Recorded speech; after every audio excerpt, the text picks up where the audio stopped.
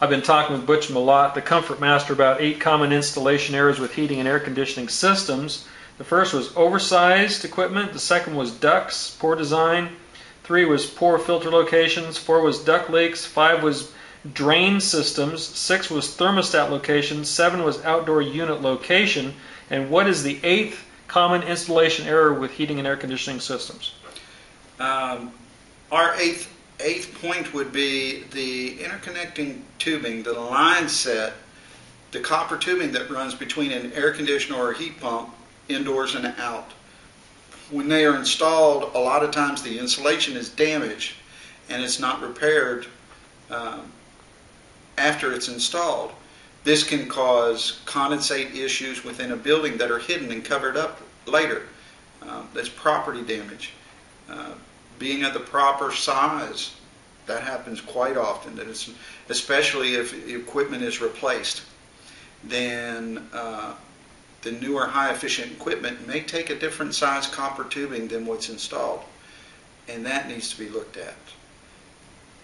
Being installed in such a way that it, it causes binding and passes vibration into a home.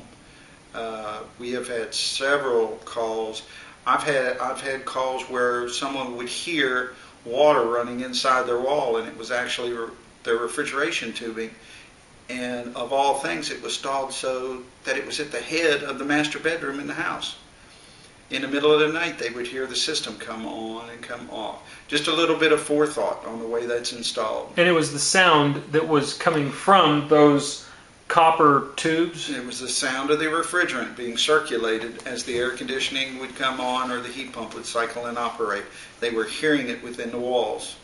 And, and, And how could have that been alleviated so that was not done? They didn't locate them there, or it was For one, not located at the head of the master bed is one, but um, making sure that it's it's properly strapped and properly installed so that those noises and vibrations don't get passed into the structure.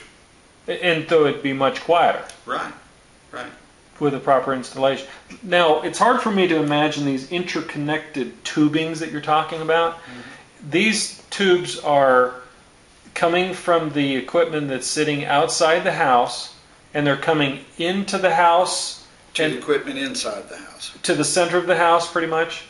To the air, the to the wherever the furnace or the air conditioner within the home is located. And then back out, or Right. There's one that leads in and one that leads out. okay, so this could be what, 100 feet to 200 feet of Oh, most most most of them are 50 foot or less. total. Yes. Okay, and all right, and it this is like gas that's going through these things and back, actually- and it's making all this sound. Right, right. It passes one direction as a gas, and in the other direction it, it goes back as a liquid. Um, it just has to do with the physics of the process of heating the home or cooling the home. But that makes noise, that has vibration, that um, has issues, refrigerant leaks, not being properly installed. Uh, So the Poor refrigerant joints. is coming out of here and leaking out. the refrigerant leaks out just because somebody made a, an improper joint. Um, yes. Is, is that common or not? Or Uh, most refrigerant leaks would end up being in a coil, but being being in a line set, it's not that uncommon. Mhm.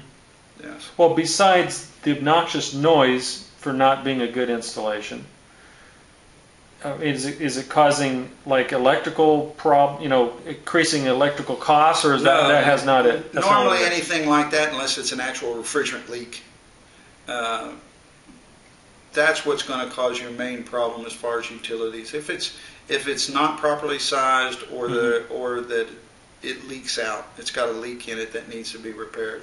Refrigerant leaks are a very common service problem. Generally, if a system is installed and it goes through through the first year or two of operation, um, it is pretty dependable as far as leaks aren't associated with the line set at that point, and they probably never will be.